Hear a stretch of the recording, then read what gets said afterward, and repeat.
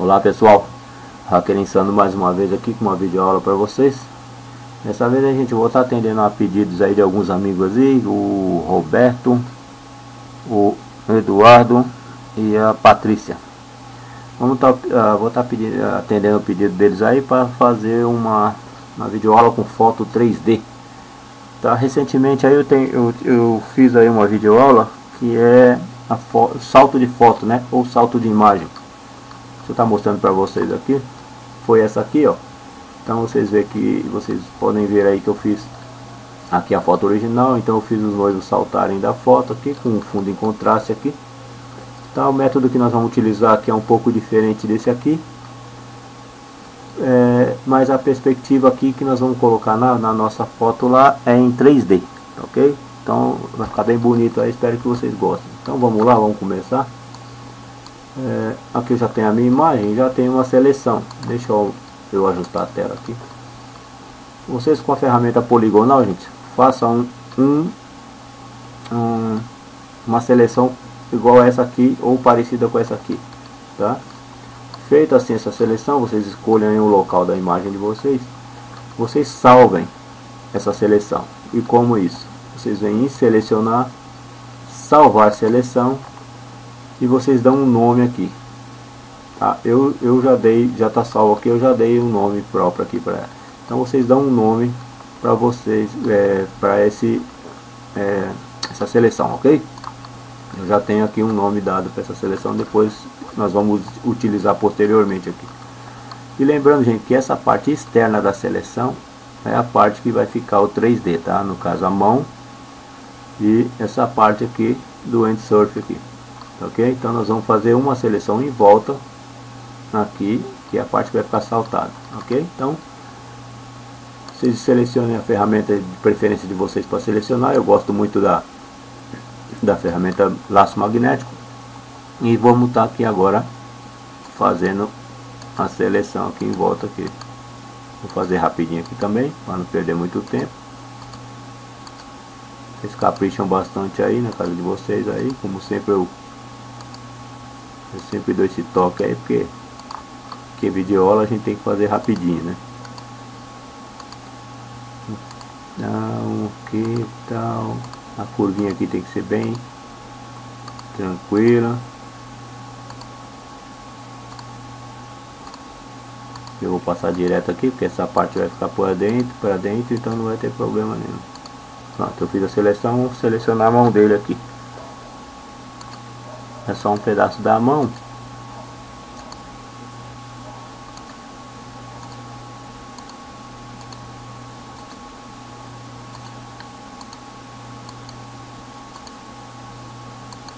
Pronto aqui aqui aqui.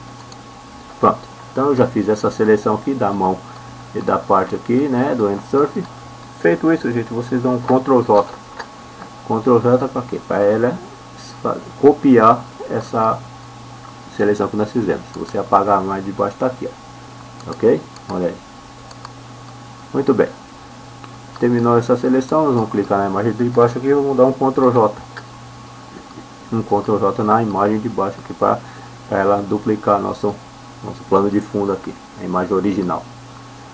Então vamos fazer o seguinte, vamos carregar aquela seleção que nós fizemos, aquela primeira. Então nós vamos selecionar carregar seleção e eu já tenho salvo aqui uma seleção. Vocês também já tem vão carregar o que uma seleção que vocês fizeram um nome. Vou dar ok pronto. Carregou aqui olha a nossa seleção. Vamos dar um Ctrl Shift I tá? Para inverter a seleção. Ctrl Shift I a gente vai vamos vamos lá e delete. Na delete ele vai tirar essa, essa, essa parte em volta aqui, ó. Então nós vamos dar Ctrl Shift I novamente para inverter novamente a seleção. Ok? Para inverter novamente a seleção, nós vamos é, aqui em selecionar, modificar e vamos em contração. Aqui eu pus 15, gente.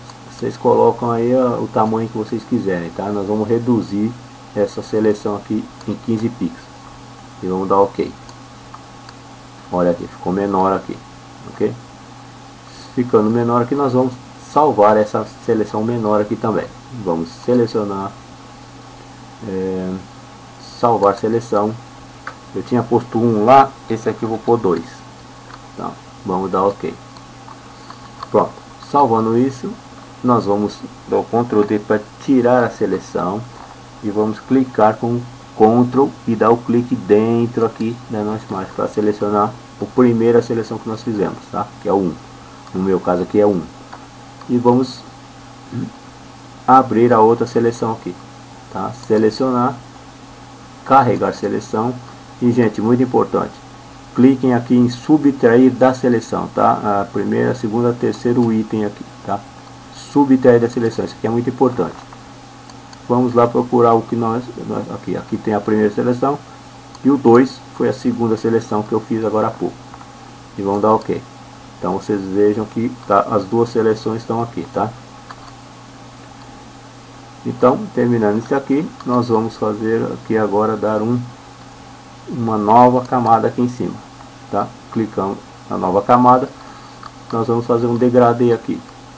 Vamos clicar aqui na nossa ferramenta em degradê e eu vou clicar aqui então eu vou selecionar aqui uma cor bem clarinha. Vocês podem estar tá colocando a cor que vocês acharem mais bonitinho aí tá? Eu vou colocar esse aqui dá ok. E de cima para baixo seguro o shift vamos aplicar o degradê tá ok? Muito bem feito isso aí gente nós vamos aqui na camada de baixo na primeira camada nossa e vamos dar um mais uma camada vamos criar, criar mais uma camada. Então, dá um Ctrl D para tirar essa seleção. Na, na, nessa camada que nós acabamos de criar nós vamos lá de novo em selecionar carregar seleção e vamos dessa vez carregar a número 1 a primeira que nós fizemos. Vamos dar ok. Aí carregando essa seleção nós vamos aqui no nosso baldinho de tinta tá? com a cor preta em primeiro aqui vamos pintar ela de preto veja que pintou aqui de preto. Ok? Feito isso nós vamos dar o ctrl D para deselecionar. Vamos em filtro desfoque desfoque gaussiano e vamos colocar em 5,0 pixels. E vamos dar ok.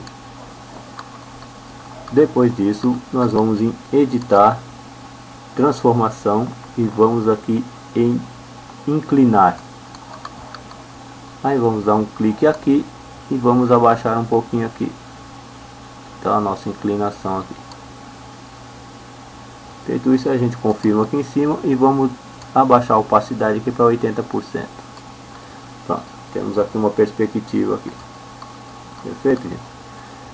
Então tá aqui, tá quase 3D aqui nossa imagem. Nós vamos agora alterar esse fundo aqui tá? Para dar aquele impacto mesmo de, de imagem. Vamos clicar aqui na nossa imagem aqui de baixo vamos criar uma nova layer ou uma nova camada e vamos colocar um fundo aqui gente. tá? Eu vou no caso inserir um fundo para dar um contraste lá eu vou colocar ah, vou colocar esse aqui tá? Essas montanhas aqui. Aí nós vamos ajustar aqui a montanha. É, ajustar aqui. A imagem sempre de fundo é bom para dar um contraste, né? Tá bom, gente? E vamos botão direito, opa, vamos a coisa lá em cima, botão direito e vamos aqui rasterizar a camada. Ok?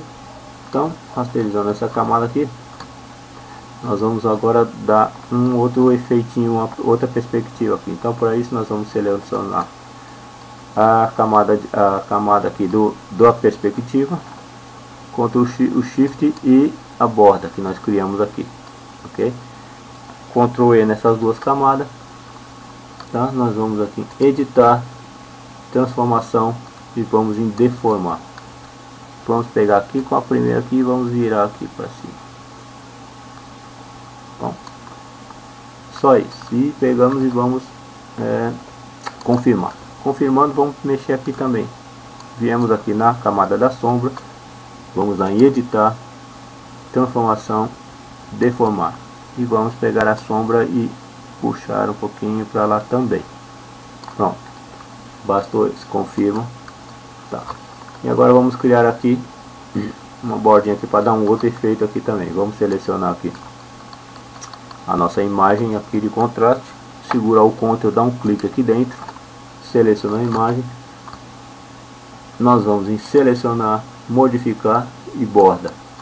Tá? Eu coloquei 30. Vocês vejam o tamanho da borda que vocês acharem melhor. E pode colocar aí. Eu vou dar ok aqui.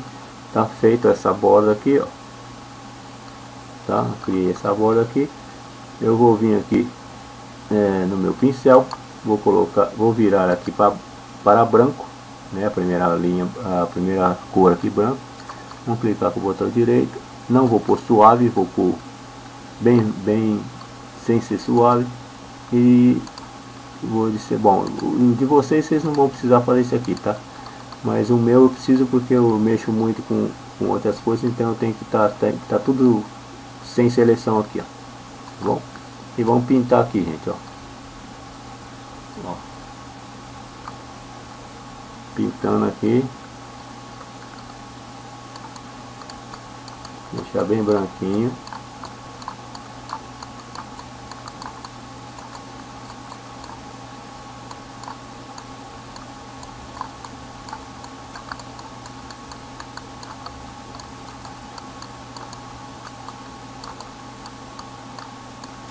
Pronto.